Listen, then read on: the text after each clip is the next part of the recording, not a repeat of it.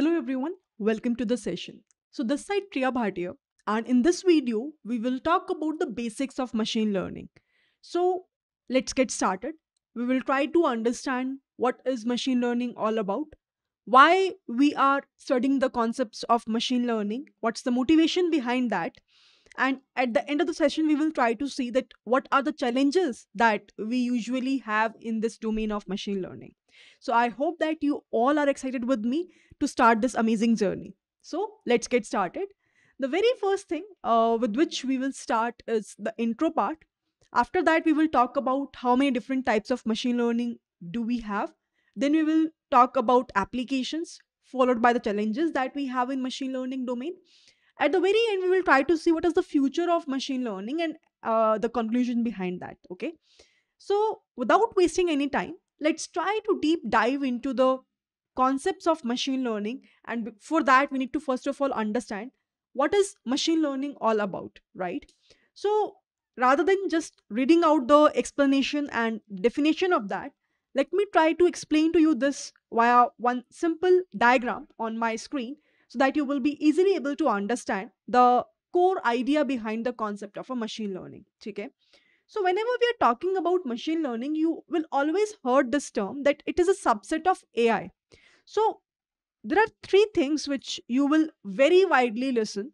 One is AI, one is machine learning that we will discuss in this amazing course, and the last one is something that you will listen quite frequently is deep learning. So when you are talking about AI, it's a bigger circle. It's a bigger circle where we are talking about end-to-end system, end-to-end system which is equally intelligent just like a human being here we are talking about end-to-end system which is highly intelligent as the human intelligence. So system or you can say machine which is having an intelligence just like a human being okay means it is having a power to take the decisions intelligence just like I would say human beings. In a layman term, we can say that particular kind of architecture, that particular kind of a system is something or a machine is something which we can say is a AI based machine. For example, uh, the robots, let's say if the robots are doing and taking a decisions just like a human beings are taking up, that's something which you can say is a AI based product. Fine. Then what is machine learning? So the very first thing which you will observe that it is a subset of AI only. So there is nothing separate as such. When I'm saying AI, the full form I hope everyone knows is artificial intelligence. Artificial intelligence, right? Now when I'm talking about something called as a machine learning, as I told you, it's a subset of AI. But here the actual work starts by passing the data to the machine so that machine will take a decision without any human intervention. So here we will be having the historical data. And with the help of that historical data, we will try to train the models. So training is being done on these historical data to get the future predictions. For example, let's say ki I want to predict the price of a house. In that scenario, what you are doing, you are maybe giving the uh, past historical data of the similar houses in that similar location where your house is located to the model. Then you are training your model, means your model is learning, and then it is giving me the prediction that what should be the optimal price of that particular house in the current scenario. So everything in machine learning works around with respect to the data set that we have.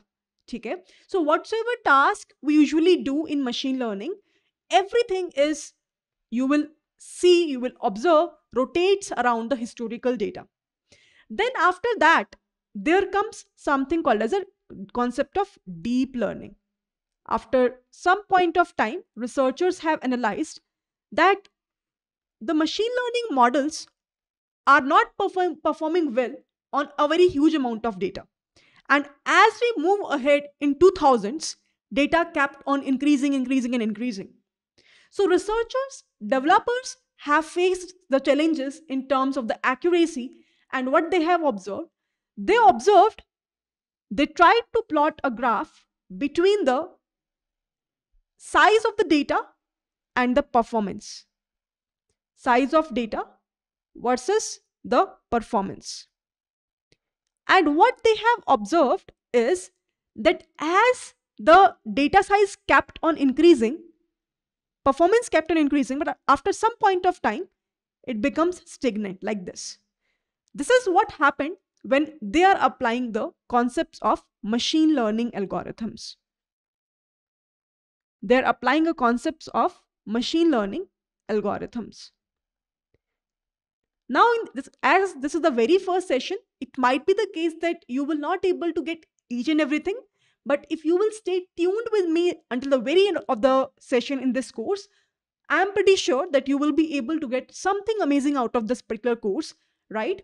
Uh, I'm trying to explain in a very layman term, but still it might be the case that there are few key terms which you will not able to understand because you're at a beginner level. So please wait for a while. In the upcoming sessions, I'll talk about each and everything in a very great detail so that everyone will be able to understand the literal meaning of each and everything with its mathematical intuition, with its implementation. So nothing you have to worry about, okay? Let's move ahead. Now what happened? So what they have observed is that's where the concepts of deep learning algorithms emerged. And what they told us as we're increasing the data, now the performance kept on increasing exponentially. So this is where deep learning algorithms plays a very, very important role. Now, what is there in this deep learning algorithms? Let's try to understand that. Deep learning algorithms. Now, what researchers have observed that in order to get a good performance, what we want is that that huge amount of data my model will be able to understand pretty well, right? So deep learning algorithms works like the way our human mind works, our human brain works. And that's where our human brain works.